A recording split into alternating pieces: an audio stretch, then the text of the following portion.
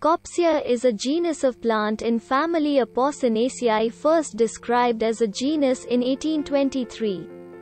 Kopsia is native to China, Southeast Asia, Australia, and various islands of the western Pacific.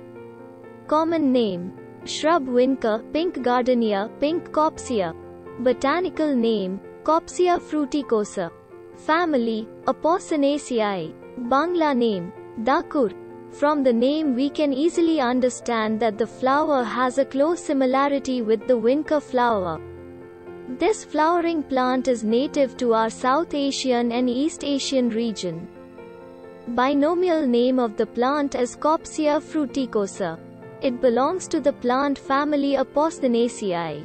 It has several common names which are shrub vinca, pink kopsia, pink gardenia, etc. In Bangladesh we call the flower as dakur.